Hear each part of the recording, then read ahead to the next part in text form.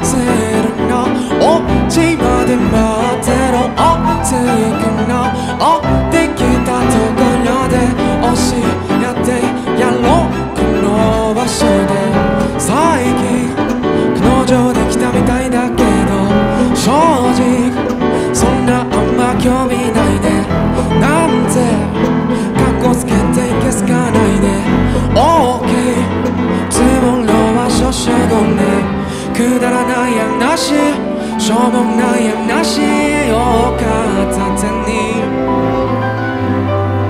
変わらない場所変わらない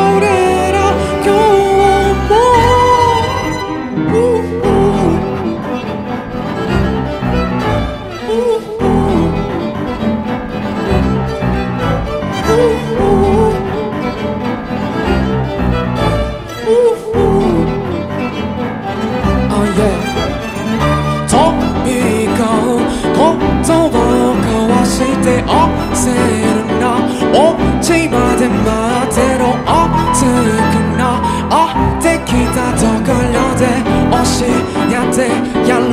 この場所で。この場所で。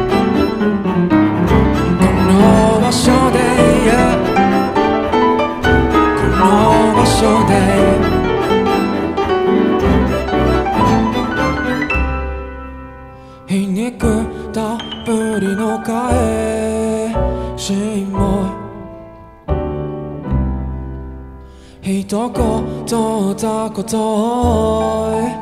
とかも面白いとか懐かしいとか地獄魔のやつがいるとか。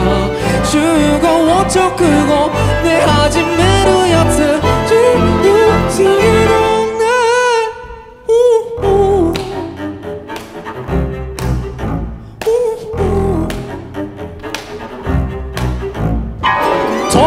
飛び交う言葉を交わして焦るな落ちまで待ってろ。熱い